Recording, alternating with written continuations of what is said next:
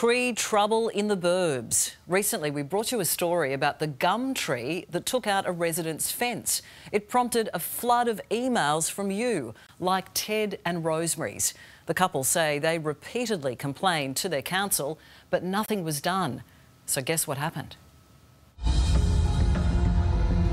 We heard the roar, it was like an express train coming. We couldn't get out, we were trapped in the house. It was scary. Driving through leafy Ballantyne Street in Melbourne's Burwood East, you might think, what a spot to live. But pensioners Rosemary and Ted McCormack, who've lived here for 52 years, tell a different story.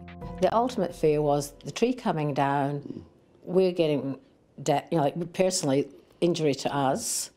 This tree that once loomed large over their home from beside the footpath was an accident waiting to happen. And they warned Whitehorse City Council countless times. So you believe this tree could have killed someone?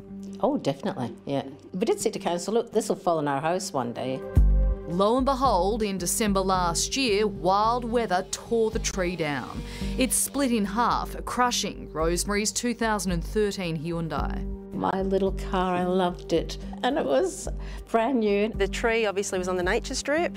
The tree's split in two. Half of it's ended up on the house, the other half's ended up on the top of mum and dad's car. So, Amanda, you've been effectively leading the charge for your parents, yes, right? Yes. And where are things at? Uh, nowhere really. We haven't got anywhere in 12 months. Daughter Amanda is fighting council for compensation. AAMI Insurance paid the couple out for the car, but Amanda wants them to cover the outstanding amount her parents forked out for a replacement, as well as the $1,000 home insurance excess. They're probably out of pocket $12,000 by the time they've had to pay their excesses on their insurance. They've had to buy another car. They're pensioners, they live week to week on their pension. In 2012, Rosemary emailed council this tree keeps dropping branches and the roots are cracking and lift our driveway. Another mum in the street told council she was most concerned about the amount of wood and sticks which flew off this gum tree, denting my car and also hitting my two young children. And another complaint from Rosemary and Ted described small twigs and branches falling off the tree and hitting windows, some with great force. Could we please have this tree removed. There'd be about half a dozen emails, and after that, I started ringing them because they just weren't, we weren't getting anywhere. They were aware of it, they did nothing about it. The couple's compensation claim was knocked back. A letter saying when council last inspected the subject tree, it was assessed as being in good health and displayed no signs of imminent failure. That tree cannot be healthy if it's splitting down the centre in two. It's as though, yes, fine, we'll take your rates, but we're not doing anything for you.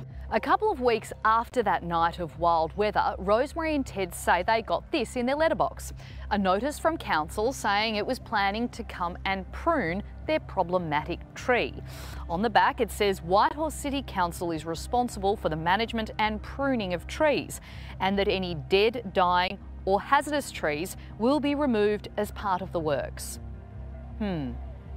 A little late, Council. Amanda says council had trimmed a few dead branches once or twice a year. Because there was power lines, they just kept cutting the tree into more and more of a Y shape. So what do you think happened? As soon as that came down, it split through the middle. So do you think the council actually made it worse, they creating it worse, this shape? Yes.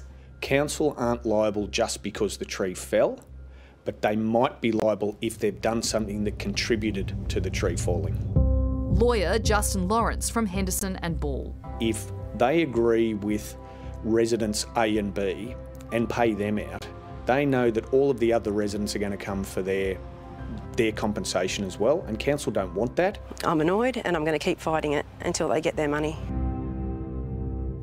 Well, council declined an interview but did say the tree had been inspected at least seven times since 2012 and on every occasion was found to be healthy.